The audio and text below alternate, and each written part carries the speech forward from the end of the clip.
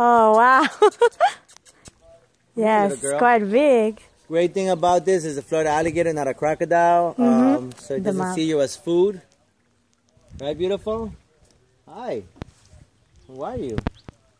Tell them hi. I'm a show off. I like to see. I like for you guys to see that I'm very beautiful. And not only that, you can see her huge smile. Mm-hmm. She has a huge Florida smile on her. Not a, an alligator, not a crocodile. Mm-hmm. Completely a different animal. Okay. A crocodile will kill you just to kill you. Mm. Florida alligators don't even care that you're here. Mm-hmm. Okay.